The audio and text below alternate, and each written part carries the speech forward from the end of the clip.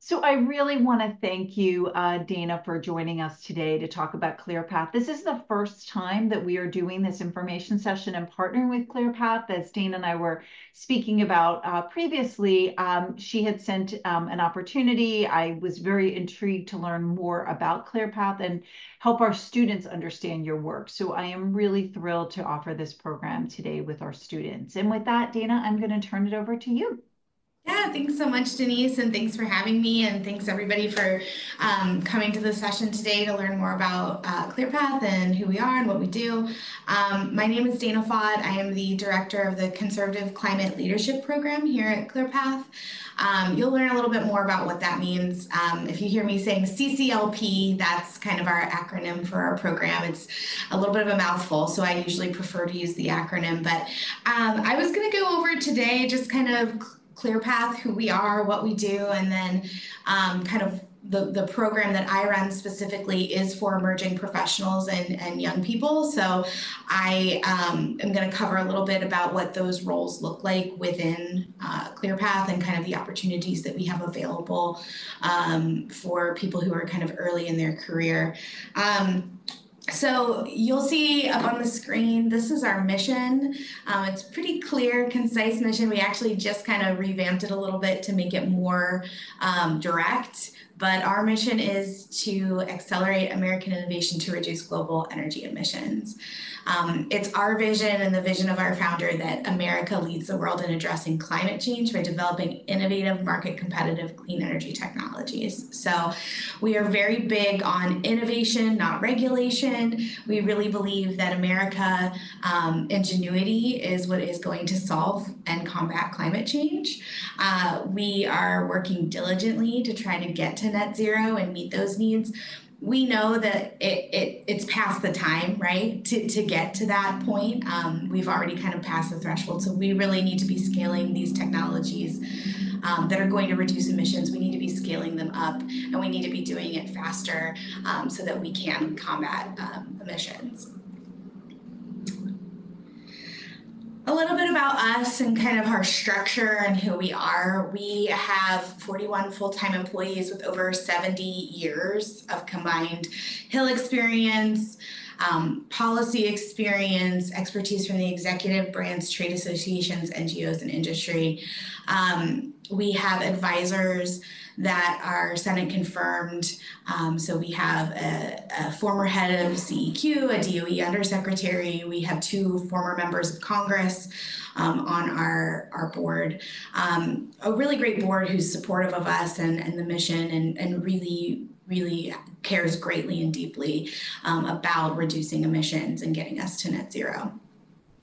Um, we've testified in 19 congressional hearings in the last three years. So um, basically providing witness testimony uh, to different hearings uh, for bills and things that are coming through Congress. We have a very deep bench of policy experts here at ClearPath that are very knowledgeable on these issues. And we've very uh, rapidly in the last 10 years become kind of the go-to uh, place uh, for experts in certain fields. Uh, I'm going to go over and talk about some of the issue areas that we cover, some of the technologies that are in our portfolios. Um, I'll go over those in a little bit more in depth in just a second. So these are um, our policy pillars um, power, industrial, carbon management. Uh, you can kind of see where all of those technology live. So we work on nuclear, battery storage, carbon capture, hydropower, natural gas, geothermal is in our power sector. Our industrial sector is concrete, metals like steel, for example, steel making, hydrogen and carbon capture. And then our carbon management portfolio is direct air, carbon removal, hybrid CDR. We have ag and natural solutions in there as well. We do also have um, policy areas, so for federal research and development, demonstration programs, deployment incentives, ecosystem regulatory reform. Um, that's kind of like our permitting portfolio, our tax portfolio, finance portfolio. Um, we work on critical minerals and um, and geothermal as well. So we, we have a very broad base of different technology areas that we focus on. Um, the number one question I get when people see this slide is Uh, what about wind and solar and transportation, EVs? We don't work on those issue areas simply because um, the industry is is very saturated with folks that are already working on those technologies and, and reducing emissions in, in those areas. Um, so we focus kind of on the underrepresented technology areas uh, that um, that represent emissions as well. So. ClearPath is kind of built differently than your typical DC organization. We um, oftentimes you'll find a, a, place that's a lobbying shop, a government affairs shop. Um, you'll have a communications PR firm, communications firm, and then you'll also have like a think tank, right? Those are three different, uh, very different kinds of organizations here in DC. We're kind of all three. Um, we have a, a policy team with a deep bench of policy experts, a lot of them who um, science is their background. So we have um, nuclear engineers on staff, we have PhDs on staff who have really dedicated their life's work to studying the science behind these technologies. Um, they are our policy experts. They are the ones um, crafting legislation, making recommendations to bills, um, submitting questions for congressional hearings, and those are all, often also the witness uh, policy experts that we put forth during congressional hearings. Um, they're kind of our think tank people. Um, our strategic communicators. We have a, an external affairs team that focuses on media relations, that focus on um, kind of getting our messaging out to the public, uh, figuring out and trying to put to the forefront some of these technologies and what their missions are and what they can do. Um, they are the people that are running our social media accounts. They're also the ones who are doing outreach and getting our policy experts on panels and getting them out in front of the public so that they can learn more about these um, technology areas. And then we do have a government affairs team that helps um, get this legislation to the Hill. They present it to offices, they educate um, staffers on some of these issues and and help them understand why it's relevant to them and why it's relevant to their districts and to their constituents. Um, they help educate them on the technologies that are out there that they might not be aware of, um, even in their state. So we kind of have a full uh, team of people that are kind of working cross-cutting uh, to to make us a whole organization where we can um, operate. Um, pretty independently. Uh, we don't have, you know, we don't have to do a lot of contracting out because we've got a full shop um, here. We also do grantees, so we also will um, do grants for research. Uh, we work with higher uh, education um, places. We, for MIT, for example, is one that we will, um, you know, give money and grants to for research and development if if it's relevant to the work that we're doing um, as part of that to help advance that research and development. Our approach to policy and legislation, um, we like to live in the middle of this Venn diagram, um, something that's legislatively realistic, that's politically sustainable, and that solves the global emissions problem, right? Like we're we're really trying to live in the middle of that. Um, we don't spin our wheels. We don't try to push through legislation that's not going to have bipartisan support. Um, we want to make sure that it's going to be sound legislation that's actually going to do something and that's going to be a positive result. Um, that's good for the environment and and for the for the mission of reducing emissions. Um, we want it to be politically sustainable. We want to be able to get it through Congress. We want it to be able to be passed with bipartisan support, ideally. Um, and then also, of course, we want it to be effective, right? We want it to solve the global emissions problem. So that's kind of where we like to live. We do work mostly with Republican offices, um, but we do every bill that we bring forth and that we try to get sponsored, we try to get sponsored bipartisan. So we do usually have a Democrat and a Republican co sponsor of bills um, to live in that kind of politically sustainable, re- legislative, realistic realm. Um, traditionally Republicans have been kind of behind the eight ball when it comes to climate and energy policy. we're hoping to help um, kind of close that gap, really educating members and staff on these issue areas, showing them the technologies that, that need to be scaled up in order to help um, combat emissions, and really showing them the benefit of um, it's not about just about reducing emissions. It's about creating jobs and staying competitive on the world stage with China and Russia. Becoming a leader um, in reducing emissions is super important um, to America, and that's kind of um, kind of the, the the way we approach things with a lot of the members that we work with. This is just a really quick sampling of some of the um, energy policy that we've had a hand in. You can kind of see these um, different um, the bills that we've worked on and um, some of the research and development that's been supported as part of our initiatives. Um, we've worked on uh, nuclear legislation. We've worked on carbon capture. Uh, we've worked on research and development, supply chains. Chips and Science Act was a big one for us. And then we've also kind of focused on tax incentives for new electricity, clean electricity, um, and supply chain. So um, we've kind of had a hand on a lot in the last um, in the last few years. This is um, a slide that shows our pillars, our values. Um, these are things that we hold up. They're posted all around our office of why we do what we do and how we do it. Um, these are the pillars that we hold up um, as examples of who we as employees of ClearPath should be and the, the traits that we should be exhibiting. Um, we take them pretty seriously. Every um, retreat, somebody is selected in each of these categories as being an outstanding representation of these values. Um, so it's always really fun um, at our retreats to kind of see who's been chosen um, for each of these values. But these are things that our leadership team really feels strongly about, and it's something that we really take into consideration when we're hiring folks and bringing them onto our team. Uh, we take it really seriously, hiring and making sure that people are the right fit. You know, we're a 40 person outfit, we're still relatively small, so it is really important that um, everyone on the team is on the same page and pulling their weight and exhibiting these kinds of values. So it's something that we really um, we really hold hold up. I wanted to just quickly go over um, our opportunities that we have at ClearPath. I was brought on about a year and a half ago to really um, make an investment in the younger generation and emerging professionals um, in the energy policy space.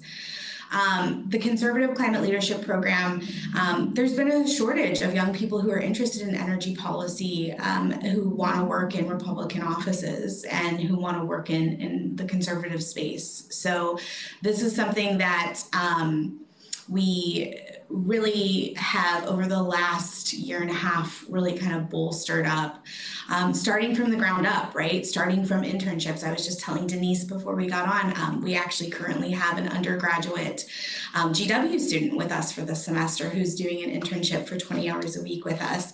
Um, he's working in our ga portfolio and helping us with a lot of our um, government affairs initiatives. Um, our internships, they're summer and semester available. They are mostly undergraduates, but we do actually have a graduate level student who's with us this semester. So it's kind of just whatever the right fit is. We're open to folks who are pursuing their grad degree, especially if you're in the city and you um, want to do 20 hours a week while you're working towards your master's degree. We think that's great. Um, you would work here at ClearPath in our DC headquarters. We have a, an office on Capitol Hill, um, right on C Street and Capitol Hill. Um, and you get a really great introduction to energy policy, Washington, D.C. in general, and just getting to kind of deep dive. So, right now we have um, three interns with us for this semester. One is working in our external affairs uh, department, and she is working on the messaging, um, and she's working on media relations, our social media accounts, um, kind of everything that has to do with the communications branch of ClearPath. Um, our GW student, he is working in our government affairs um, department. He is uh, really learning the ins and outs of what our GA team does and how they bring legislation to the Hill, how they interact with Hill offices, how they help educate um, staff within um, Congress. And so he's really getting a, a pretty, uh, I would think, a pretty exciting education um, in kind of that space uh, this semester. And then we also have a policy um, intern for this semester. She is working in our international uh, and nuclear portfolio. So she is helping our nuclear team and, and our international team um, with deep diving into some um, technology exploration, um, international finance um, tracking. She's doing a lot um, on the nuclear front, so she's getting a, a really good education in nuclear this semester. Our fellowships, our internal fellowships, are uh, kind of the next step in the process. They are a one year commitment. They are recent graduates and graduate level folks who are interested in getting a deeper dive in energy policy. Um, we have three fellows that are currently on staff with us right now. Um, one is working in our nuclear portfolio, one is working in our permitting and geothermal portfolio and the other is working in our DOE tax and critical minerals portfolio.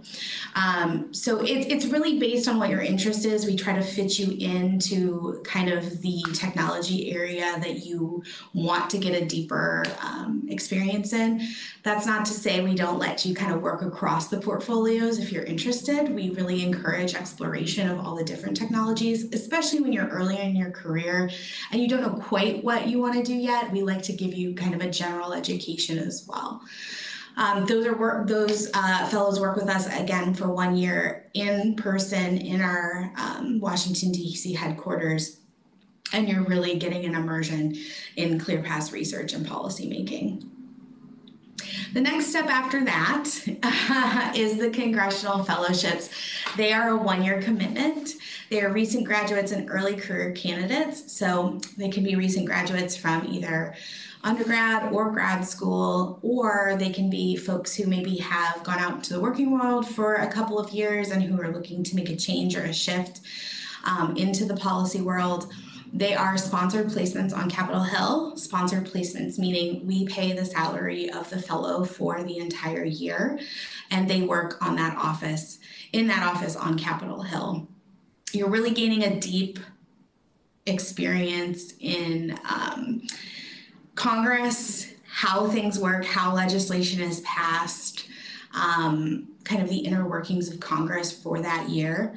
Currently, we have six fellows on Capitol Hill. We have two at the Senate Western Caucus. We have two in personal offices. One's in a senator's office. One's in a in a um, representative's office. Um, we have a fellow at the Conservative Climate Caucus, and we have a fellow at the House Science, Space, and Tech Committee. So they uh, wide range of different um, kinds of offices, but they're all getting experience on Capitol Hill as part of that placement. Um, you don't have to follow this pathway. This is kind of the pathway that we've kind of created to for folks who are interested who start at the internship level and work their way up through. But um, certainly, we've had people who have just come on and done congressional fellowships.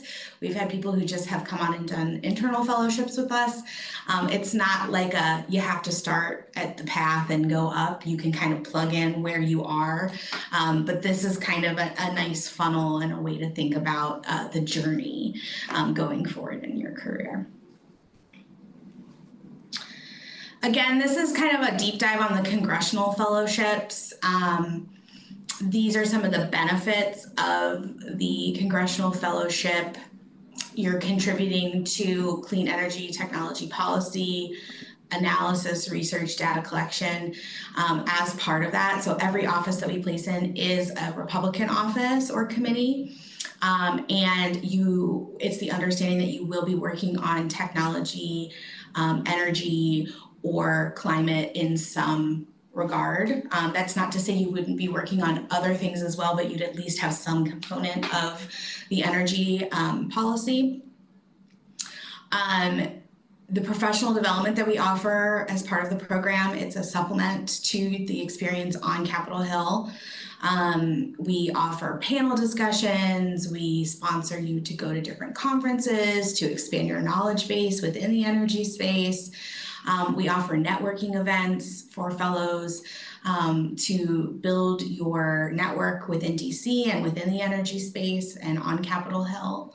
Um, the panels that we offer and the speakers that we offer, it's an education within the energy sector. So it's educational opportunities to help further your knowledge set within the energy sector. And then when your fellowship concludes, part of what we do is we go through an exercise of helping you figure out what's next, right? To figure out um, how we can be helpful. We have a large network within the energy space here in DC and on Capitol Hill. So, how can we help you find what your next step is um, for full time employment, whether that be in the private sector, whether that be at an agency, or whether that be on Capitol Hill? Um, how can we be helpful in that space? So, we start those conversations um, a couple months before a fellowship concludes just to be um, on top of what's next for our fellows. This is just my contact information. I think we have about eight minutes. If I, am happy to to entertain questions if anybody has anything for me. Um, Denise, I don't know how you regulate questions, but um, happy to happy to answer anything that anybody has and want, wants me to talk about more in depth. Sure. Um, we had one question that came in that was uh, other job opportunities for international graduate students who require visa sponsorships? Yeah, um, we can do internships as long as you stay on your visa for school. We are not currently sponsoring visas. Um, and obviously, Capitol Hill, it's a lot trickier. We can't do placements um, for international folks on Capitol Hill just yet. Um, but internships certainly would be an opportunity. I don't have any other questions in the in the chat right now. Does anybody want to? Um, oh, here's another question. Um, mm-hmm. for professionals and SM beyond one to four years of experience, wanting to know if they can continue a conversation with you um, with any if they have some interest. Yeah, sure. My contact information's on here. I'm also on LinkedIn. Happy to connect there. That's a great space. Um, if you want to shoot me an email, happy to answer questions that way or um, schedule a time to chat. Um, we actually have some current applications that are open on our website. That's also a great way to do it.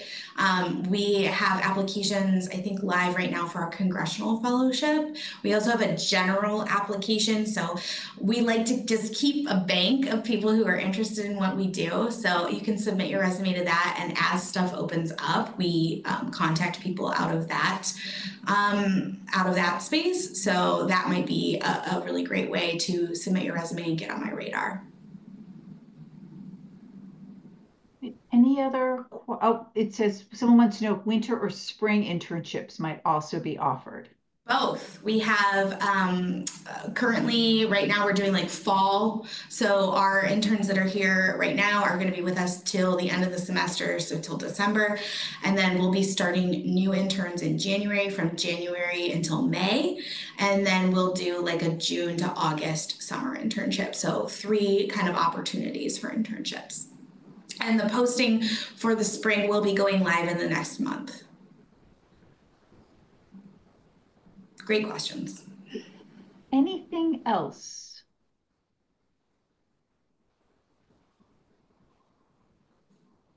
Okay. Well, great. Thank you guys so much for coming. I really appreciate the opportunity to get to speak to you.